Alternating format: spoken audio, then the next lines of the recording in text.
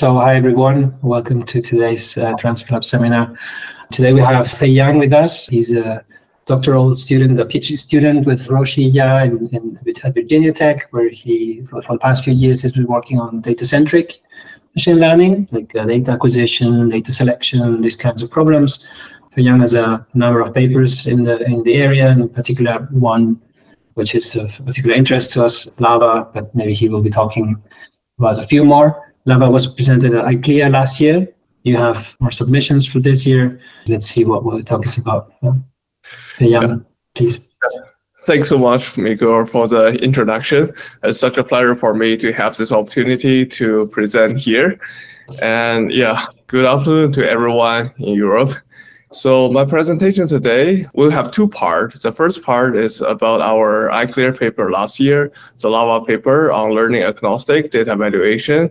And if having enough time, I also prepared a second part for this presentation, which is presented both as an application of the LAVA paper as an extension and also connects to our ICLR paper of this year, which we are going to present it next week at the ICLR conference in Vienna.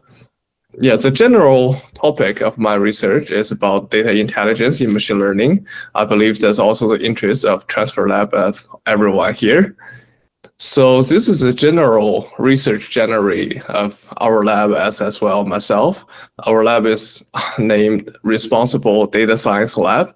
And uh, we have primarily three research directions, data-centric AI, which includes data evaluation, data influence, data attribution, data selection, also problems that we are interested here.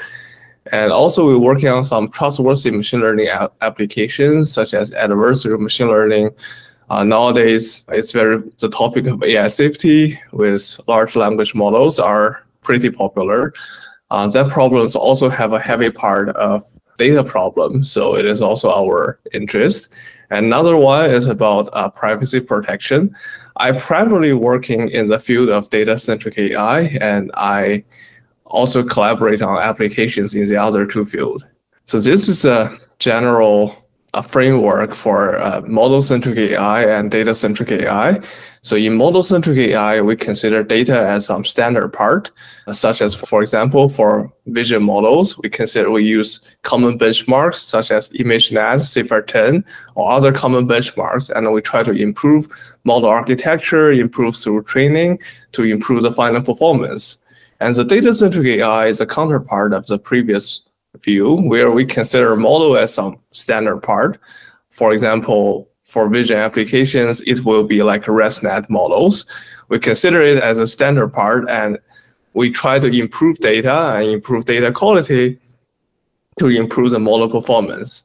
So these two point of view are more complementary to each other. They usually taking the order to improve. So this is a a figure to depict like uh, the potential for data-centric AI. So when we scale up the application, this is how the model performance will change when we, on a small example, how the model performance will change.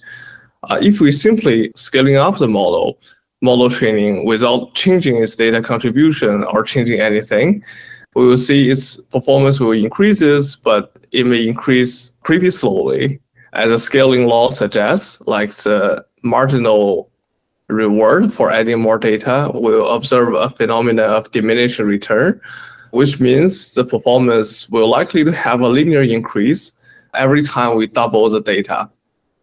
And uh, we can see the green curve here. So if we instead not just simply scaling up, instead we look into the data and clean the data and this is a simple case of just denoising the data. We can get much more visible performance improvements, and which is uh, favorable in terms of both training efficiency and computational efficiency. Andrew Ng defines this data-centric problem as a discipline of systematically engineering the data used to build an AI system. So the question we, we ask here is that how can we quantify data quality. Like if we're talking about selecting good data, selecting better data, engineering the data to for the machine learning application, how do we measure this relative quality of the data? How can we detect problematic data effectively and also efficiently at a large scale? And this comes to the first part of our presentation today about our one of our data evaluation method. So this is um, a general framework for data evaluation. So we first have a bunch of training data and we train a machine learning algorithm on this data and we measure its performance on some validation data. So the data evaluation problems ask this question, how can we do a backward attribution problem? How can we attribute the performance we achieve on this validation data back to its training data to understand how each of the training data point is contributing, whether it's the contribution is positive or negative, and by how much. And for this data evaluation scheme, it has a number of applications. For example, it can help with interpretability, understand how our model is performing in terms of data, which training data point is contributing to this performance and which are not. And it can also help us a decision in data acquisition, like if we want to select more, select data to train a model, if or if we want to collect more data to train a model, it can guide our decision of what data to collect. Similarly, it can also, if we are going to buy data or pay the people to overcome their privacy concerns, it can also help us to design this incentive scheme and also has like certain privacy applications to understand which training points are more memorized during this training process. And this is a very baseline idea of implementing data evaluation is this leave one out. It measures a counterfactual performance difference.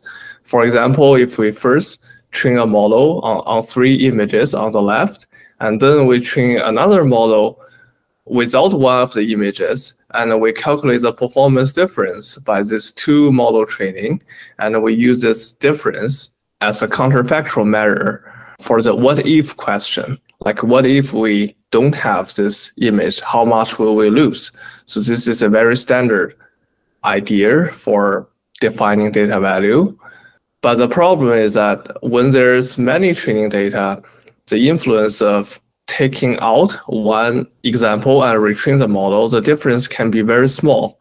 And for machine learning models, there's inherent stochasticity in model training, so which this often makes this signal indistinguishable with noise.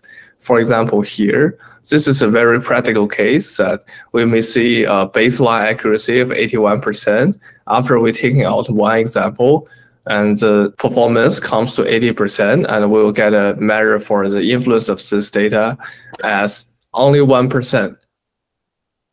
And there are also other issues with this uh, leave out measurement.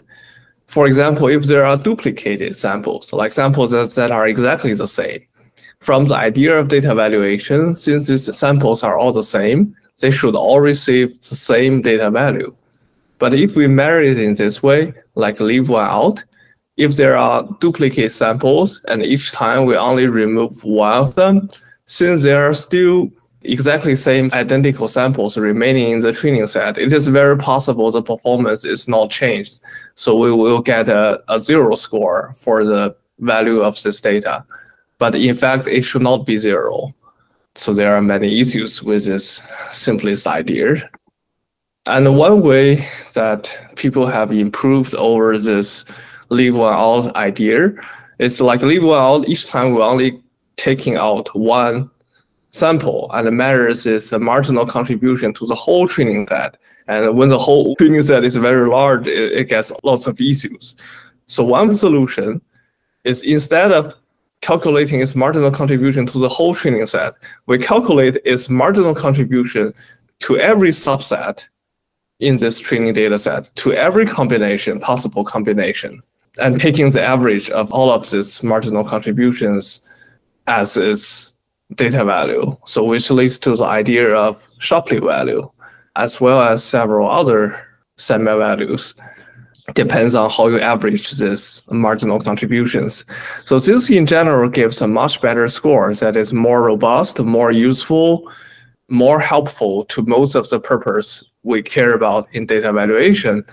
But the problem is every time we want to measure this marginal contribution, we need to train two models. We need to train a model with this sample and without this sample. And if you want to calculate this marginal contribution with respect to all combinations, this requires an exponential number of model training. So for modern machine learning applications, even repeating this training process for a few times can be quite expensive. And if we tell people that you need to repeat this for exponential number of times, it's hard to think that anyone out of academia would be interested. So this is the problem. This is the landscape we are looking at. So the baseline method is this leave one out, which is most intuitive and easiest to explain to people like why this is reasonable. But it just in practical is far less capable than it appears. And the other one is this value. It produces more useful value at the expense of being extremely inefficient. So that's a problem of this efficiency and utility trade-off. So the issues for leave one out and all this Shapley-like method is it requires model retraining. During this pipeline, this model training is a costly process. It needed to be repeated by many times and even up to exponential times. It is only affordable when there's on like a very few data sources to be evaluated. Like if you are not interested in evaluating data point, and instead you are evaluating say data sources where there are like 10, 20 data sources, maybe that exponential number can be acceptable with some estimation approximation method. But if you want to do data point level valuation, this is not a practical idea. And yeah, it's almost useless for this purpose. There are some applications, I think you may have already know some of it, like this KNN Shapley, which use the KNN model to approximate the model training process. So we are training a neural network model so instead, we are not doing a neural network. We are just using a KNN model as a proxy, and it produces something like much faster. And today we're introducing this like learning agnostic data evaluation scheme, which achieves near linear time and much better utility compared to KNN Shapley method. So as we talked about, this model training part is expensive and uh, problematic part. So the focus is on how to replace this learning algorithm. How do we find a viable proxy? So this is a model training pipeline. Like this learning algorithm here is our target machine learning model. If it is a it is a ResNet model, it is whatever our target machine learning model is. This KNN Shapley method is okay. We just disregard whatever your target machine learning application is. We just put a KNN model here. We just do a data evaluation with respect to a KNN model, and we hope it applies to all machine learning applications. The way KNN works has some theoretical properties that it approximates like general machine applications in a certain way so that it works to by replacing the machine learning application with a, J, a KNN approximator, uh, it still works. Even though it disregard your target application, the value we receive from that approximation still applies to many general machine learning applications. So KNN, not only because it's a simple machine learning model to approximate it, but KNN has an explicit solution. Like the solution for every KNN problem, you can directly write it out in a straightforward equation so that even if we want to evaluate this KN for an exponential number of trainings, because the solution to each of the problem, we can directly write it down as equations. Even if we have many of them, we can directly take in the average of these equations and instead only solving a single problem instead of needing to evaluate it for an exponential number of times and averaging the results. So that's the advantage of it, why it can achieve the near linear time complexity for an exponential problem. Right, so this is uh, KNN Shapley is one solution to replacing this learning algorithm. Its idea is to use a, a simplest, almost simplest possible learning algorithm, which has an explicit solution to replace this training algorithm, which can support like a data evaluation scheme. So our idea is we go further. Okay, we are trying to get rid of that process model altogether. Can we like since we are training a machine learning model on the training data and then test it on the validation data and use a score on the validation data to evaluate the training data. So can we go further, like just getting rid of this process altogether and by directly measuring the relationship between training and validation data to do this data evaluation? So one possible idea is our starting point is the data set distance between this training data and the validation data. So the general idea is the smaller the data set distance, the higher performance, and the bigger data set distance, um, the lower performance will be. And this is one of our pilot experiments in this work, a motivating example. We train several like commonly used machine learning models like ResNet models and with CIFAR 10 and on this commonly used vision benchmarks. And we found that this correlation holds very nicely, like between training data and validation data. The larger the data set distance, the worse the performance. And from this figure, you can see that not only is this a correlation, this is an almost linear relationship between model performance and data set distance. And this linear correlation if it is true, like if it is really linear, this has some very nice properties, which means if you are able to fit this curve, you can easily predict the model performance solely from this dataset distance. This is our motivation. So we tried using the optimal transport distance as a distributional distance. There are many distributional distance out there. So imagine that we have two set of data points these are the training data set and these are the validation data set. So consider this as items at certain warehouse. So this is uh, some original nodes and these are some destination nodes. So imagine these are some items at certain warehouse. So there are different amount of items at different warehouse and we want to move them from each of the original node to the destination node. And the optimal transport distance is the minimum transport cost for us to move these items from the original nodes to the destination nodes. So how does this matter and why we choose this optimal transport distance, uh, not the others? So first, like let's look at this transportation problem here. Many plants can do this transportation. Like we can either move this items from here to here, or we can move it from here to here. So there are different ways to do this transportation. What it means for this distributional distance problem is that these items at the original nodes, this is actually the probability mass, the distribution for the data of a training data set. And this is, a, for example, the distribution of its validation data set. So Assume this is a distribution for the training data and assume this is a distribution for the validation data. And we are trying to measure the distributional distance between these two distributions. And what does it mean uh, for this distributional distance? We can imagine these two distributions as a pile of dirt. And its distance is we want to reshape the first pile of dirt to the shape of the second pile of dirt. If you want to do so, what is the amount of labor to do it? So this is equivalent to the problem of moving goods from between warehouse. These two problems are the same. So from this warehouse transportation problem, we can see there are many different transport plans to do the same. Like you can either move the item to its closest point or you can move it to its farthest point. And this different way of doing transportation will give us different measures for this distance. So why we have this problem? This in fact is on dimension more than two. The definition for distance between two set of points is not unique.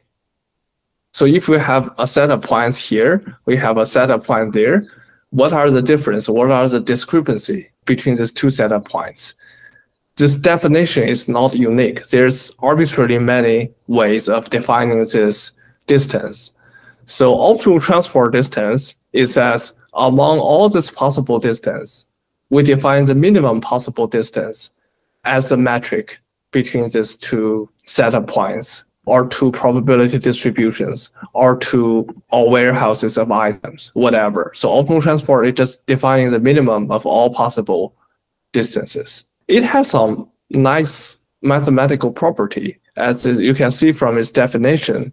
As for a distributional distance metric, it is more restricting. And there are simpler, like other distance metric, for example, maximum mean discrepancy, MMD, it is in fact just mean discrepancy. What it does, it just you take the average of all your points at one set, and you take the average of all your data points at the other set, and you just calculate the distance between these two averages. And that's an alternative for defining this distributional distance. And you can see that the second way, you lose much of the information because you take average first. And no matter what is your original data, it first collapses to a flat problem and you're only taking the average between this simplified problem. Much of the information is lost in this process. We can see from a very simple example, like in this optimal transport problem, if we use this minimum distance, whenever this distribution changes, even it's a minimal changes, for example, it becomes this, like with only a small change in the distribution, we will see a difference in the optimal transport distance. But if it is a mean discrepancy, it is very possible that if you make some changes to the distribution, but its average does not change, you will get like a no change in the like mean distribution. And we'll explain later like why this property is very important. The general property for this optimal transport distance is it will respond to any changes in, in the distribution. So why optimal transport? As we explained, it is a well-defined distance metric. It is unique and all is unique and well-defined. It is computationally tractable and is computable from finite examples. So as by definition, this optimal transport is a linear programming problem. Like we have uh, two distributions and we're just solving a simple minimization by moving like data points from one distribution to another distribution. So by definition, this is a linear programming problem. And if we want to solve a linear programming as a linear program, its complexity is pretty high. It's probably at the level of cubic complexity if we want to solve it as is. There's some nowadays there's some very efficient approximations to these optimal transport problems by adding some regularizer to the linear programming. So for this optimal transport distance between this data set, not only does it has this empirical correlation between model performance, actually this is also supported by theoretical results. Uh, this is a theorem known as KR duality, Kantorovich-Rubinstein duality. It states that for any model, any machine learning model under general assumptions, its validation loss on this validation data set is upper bounded by its training loss on its training data sets plus optimal transport distance. So this is a theoretical results available for this optimal transport distance. The first is applies to all training loss. The assumption here is a Lipschitz constant for the model parameter. So this is the upper bound. How tight is the upper bound depends on the Lipschitz smoothness of the machine learning model. And in practice, for the same machine learning application, if we keep the training recipe the same and only change its training data, in general, its effective Lipschitz constant is stable, like it does not changes a lot. So which means the correlation between this validation loss with this validation loss on the left-hand side and the other part on the right-hand side, this correlation is relatively stable as we see in this empirical results in this figure. So even though this is the upper bound, that if the Lipschitz a constant of the model changes a lot, if this behavior of the model is super unpredictable, and this upper bound will be loose, but in practice, more cases we see that the correlation between the left-hand side and the right-hand side is rather stable, which is almost an equivalence rather than an upper bound. So in practice, if we train the model with empirical loss minimization for a more for a capable machine learning model nowadays, its training loss can usually be reduced to almost zero. So this optimal transport distance can provide a direct indication of the validation loss. So this is a theoretical result, which is also corresponding to the empirical results we see here. This explains why there is that a linear correlation between model performance and the distribution of distance. So if this is true, every time we want to do data evaluation, we do not need to retrain this machine learning model. We can only measure this optimal transport distance and directly use this as a substitute for the model performance. Based on this idea, if we want to use optimal transport distance instead of in substitute of the machine learning model and do this data evaluation, every time we want to do this data point evaluation, we still need to repeat the process, like calculate the optimal transport distance with one data point and calculate it without one data point. As we mentioned, this optimal transport is a linear program. And if solving this linear program is expensive at a very large scale, this still has efficiency problem. Like we need to keep calculating, computing this optimal transport distance. But even for that, we already have a great advantage. When we have machine learning model in the loop, one of the major problem is not from the small signal by removing one sample training samples at each time, but more from the learning stochasticity from training the machine learning model. So it's a problem about signal to noise ratio. Is this plot here? Uh, we replace the training machine learning model with calculating the optimal transport distance, which get rid of the stochasticity in this process. So even if it is the same complexity, the signal to noise ratio is much larger than before, which means you need much fewer numbers of repetition to get a clear signal for data values. But we don't stop here. The idea previously, the data value is defined as a contribution to the model performance, and now we replace it to the contribution to the set distance. And so previously, calculate the data value as this marginal contribution to the model performance measured by repeating the training with and without a data point. Now it becomes a sensitivity to this data set distance and then how to measure it. A naive idea is we just calculate this, compute this optimal transport data set distance twice for each training data to measure its difference. But since this is defined as optimization problem here, we can directly calculate this gradient with respect to this optimal transport distance instead of needing to repeat this computation every time.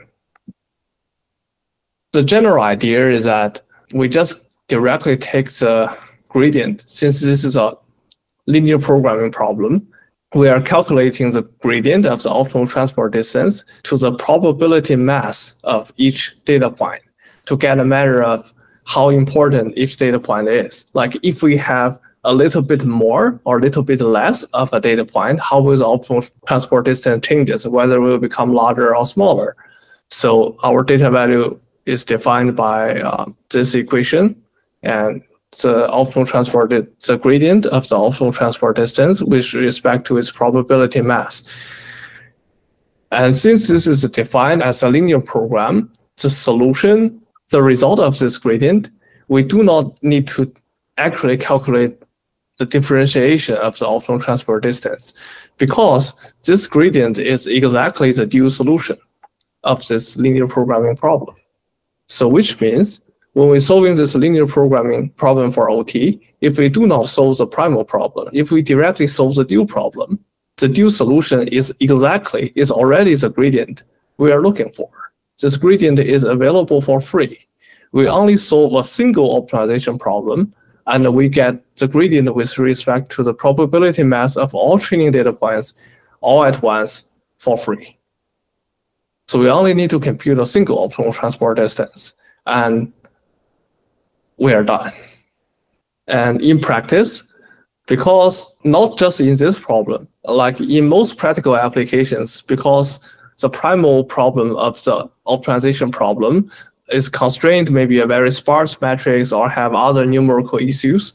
So most of the time when people solving a linear programming, we directly solve for the dual instead of the primal. So which is also the case here. So every OT solvers out there are directly solving the dual problem and producing the dual solution. So we don't even need to make any modification to the OT solver. Just find any OT solver out there and solve the OT problem here, and it will give you the dual solutions, which is the gradient information we look for here. Then due to some property, like we are perturbing this probability distribution, and the probability distribution to be well defined, the probability mass of all data points must add up to one. And if we just the probability mass of a single data point, it will no longer sum up to one. So we need to project it back to the probability simplex of which equals to one, so which we need to add a, do a simple calibration, which means we need to, the actual gradient of a data point is its gradient of itself minus the average gradient of all other data points. So to ensure you project back to the probability simplex. Then we are done to calculating this data value. The optimal transport is formulation is minimizing the transport cost subject to the constraint of the probability distribution in this transport plan add up to one for all the original data and all the validation for all the training data and all the validation data. So the variable here in this optimal transport problem is a transport plan, like transport from every, transport the probability mass from every training point to every validation point. We want to minimize the total transport distance and subject to the constraint that this transport plan will make sure that you transport all the probability mass from the training dataset to the validation dataset, no more, no less. So this is a simple simple linear programming, linear programming problem. And we can see that in this primal problem on these constraints, we have the probability mass on, on the right-hand side of this all these constraints. So which means when we do the primal dual transformation, this coefficients will directly become the coefficients of the dual problem. When we're taking the gradient with respect to these parameters in the dual problem, we directly get the dual solution as a gradient. So here's a number of applications. It can be used for like noisy label detection, a noise feature noise detection, uh, dataset redundancy, balancing un unbalanced dataset, some interesting applications de detecting irrelevant data. So which just has no contribution to anything. so this is a procedure, operational procedure of using this LAVA to do data evaluation. We first solve the optimal transport problem and calculate the gradient with respect to each of the samples as our LAVA score. And we assign LAVA score to each of the training individual data points. And we rank all the data points based on the score. You can interpret this score as a quality measure for the data, how it's contributing. Whether adding more of this data or similar data will reduce the dataset distance or push it further. If we will make the data set distance smaller, which means this is a data we need that will bring the training data set closer to the validation dataset. We, we want more data like this. If having more of this data will make the distance between training and validation larger, which means this data is not good enough. It is probably an outlier. The more we have of data like this, the further the data set distance will become. Uh, the machine learning application may perform worse on this validation data. So that's the interpretation of why this gradient relates to the data quality. We rank the data and then we inspect the data points according to the ranking. If you want to select the best quality ones, you just keep the highest scoring ones. And if you want to remove like outliers, mislabeled or noisy features, you just take out those lowest ranking ones it is likely to have a negative score here, which means having more of this data will increase the optimal transport distance, which means will harm your machine learning application performance, so which is rather straightforward. We define this notion of detection rate. For example, if you want to detect bad data points, we just inspect from the lowest scored samples and define this detection rate as the number of samples we inspected uh, number of true bad samples among all bad samples we injected into this problem. We will visualize this landscape like it will be like this. So for example, this is detecting noisy labels, and this is based on data value ranking. And you can see that the more data we inspect from the lowest score, the more bad data we'll be able to detect. I will say probably at this point, probably this is a good like operational point where we discard one fourth of the data. And among that we have already filtered out like 90% of all the bad data. But in each application you can decide like where is your ideal operational point. Is this operational point of sorry of having like throwing for example set the threshold here like throwing one fourth of the data equivalent to the point here which means you can train the same model with just three quarters of the original data and achieves even better performance. So this is other result is about noisy feature detection. It's similar as the previous one is uh, mislabeled data. You can imagine this as images with very poor quality. It performs similarly. We have this one result here about dataset reduction. So this data evaluation method is designed for identifying like data points with better or worse quality. It is not directly designed for the data selection problem. So want to like make it clear that it is actually a tricky problem when using data evaluation for data selection. This is a, an active research area. People still trying to make connections here. So we in here implement a small experiment about this uh, data set reduction. Like if we throw in data based on this data value scores, like throwing the lowest scoring data, how will we retain the performance? This is the result, like our method is able to like maintain performance somewhat better than the other baselines. Oh, we have the random baseline here, you can see, and uh, performs better than the random baselines.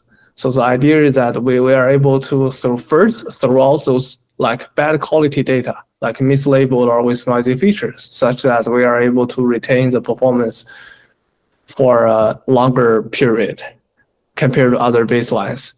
But the idea is that this is not designed for data selection. This can only be applied in limited applications like that. This is not intended to be a general data selection method or data pruning method. It probably is helpful for pruning, but it is not for selecting core set like you can throw away like a lowest score samples. But if you do the opposite, if you select only the highest score samples, probably the result is not that good. You don't get a core set. You may just get a weird data set.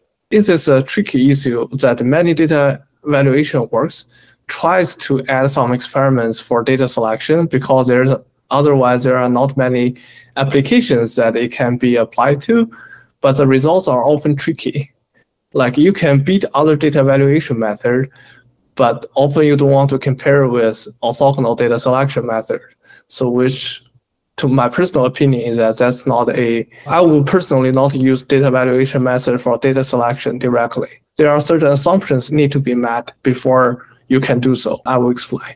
There's also an interesting application of balancing unbalanced data set. Like if the data set is unbalanced, the performance is affected by that by throwing out unbalance because we are trying to minimize the distributional distance. So it naturally has this idea of uh, balancing of matching distributions by design. So when throwing low quality data, it will first throw out those data that contributed the most to increasing the optimal transport distance, which means throwing data based on this method can decrease the dataset distance at the quickest rate so it is most effective compared to other methods in terms of balancing unbalanced dataset.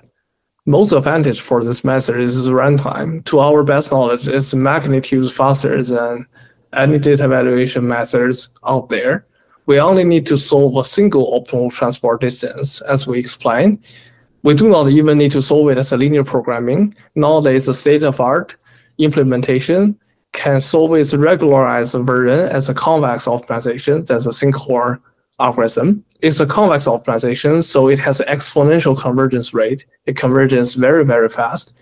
And also, now it has a GPU implementation. So this is a large scale like optimization problem where the metrics are all the constraints with the data points, a very large matrix. Now we are able to handle that computation on GPUs. So which is probably two orders faster than doing the same thing on CPU, like 100 times faster. So as a result, we are able to solve million level data evaluation problems in a single optimal transport problem, which can be solved in as few as like three to five minutes. We can do like a million level data evaluation. And to our best knowledge, that is much faster than any other algorithms out there. And we also have advantageous utility for this method. Among these methods, this KNN Shapley is developed by our team. So we have like its a original implementation.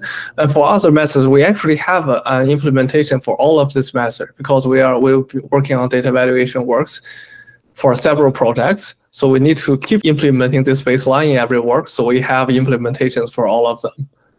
And also this runtime scores as reported here is comparable to the complexity as reported in their original paper.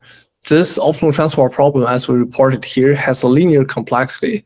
This is unparalleled compared to all other methods out there. And this is uh, probably the only one that can leverage this GPU computation. So not only it has a linear complexity, that GPU implementation is also 100 times faster than CPU implementation. You plus all this factor together, the result is that this is much, much faster than any other method. I think the closest one to our method, one is this KNN Shapley. The other one is the data OOB that really that was published last year ICML, I remember. I saw TransferLab also has that implementation on GitHub. They are also applicable they claim to be applicable to million scale problems, as I heard from them. But that algorithm only runs on CPUs, to my knowledge. So I guess it's still not as fast as this one. This is a bonus slide. Like I'll just very quickly introduce idea here. Is as an extended discussion, data value between the relationship between data evaluation and data selection. And a problem that many people were asking about, can data evaluation method be applied to data selection? So data evaluation generates a, a scalar value to rank the data points, while data selection is a combinatorial problem by nature. So that's why finding core sets for in data selection problem is so computationally expensive. In this data selection problem, every time you select a data point, the marginal value for other data points and their ranking will change, and will change like a lot. So here's an extreme case. Identical data points will all receive the same data value based on this fairness constraints, and, but you typically don't want to select duplicated data points in data selection. This is one fundamental difference. So in data selection problem, once you pick a data point, all the identical data points or similar data points will quickly lose this value because you don't want having duplicated of them. So this is a fundamental difference here. So if we want to use data evaluation method, which has a flat structure, just a scalar value to this data selection problem, which is combinatorial by nature, the key assumption is here. When does this ranking for marginal value of data does not change or does not change much. One example here, one possible case is here, is that when the update to the model is incremental. So what does this mean? So when you are fine-tuning a model or doing a continual pre-training of a pre-trained model, the update to the model can be perceived as incremental. Like even as you add data, the effective data distribution of the model does not change that much. Like so that the relative marginal contribution for adding new data points does not change that much. In that case, the solution you get from this data evaluation works will be equivalent to this result from a data selection problem that tries to solve the combinatorial problem. That is actually the other work I guess we won't have time to discuss today. So the idea is that if you want to use data evaluation method for data selection, we want to find the case where this marginal contribution of the data value, data value does not change very much. So first about this influence function, its idea is using a second order approximation to the original model, right? It calculates the Hessian. the process uh, original model as the second order approximation as the Hessian matrix. You can also uh, imagine that as a process model. And TracIn is further simplified. It.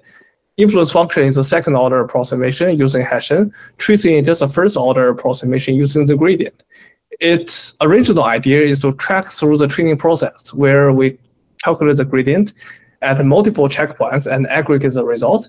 But in practice, usually just using the final checkpoint is good enough, or there will be a, single checkpoint where the result we get from this checkpoint is better than all the others and better than averaging over the others.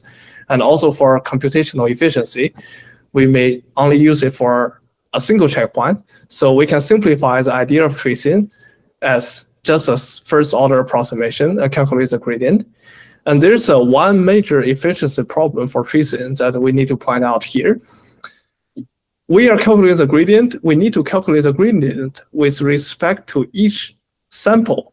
So which means we usually calculate this gradient in the same way as we train machine learning models. We just do a backward propagation to get the gradients. But if we want to get the gradient with respect to the each samples, we have to use a batch size of one to ensure that this backward propagation gives us a gradient with respect to a single sample. So this greatly limits its efficiency. Its complexity is almost as training this model with a batch size of one. So we actually make this one step further on this data attribution and influence attribution problem at scale. That influence function is a second order approximation, TracIn is a first order approximation. So we go one step further in this direction. We propose the idea of doing a zeroth order approximation. What does it mean?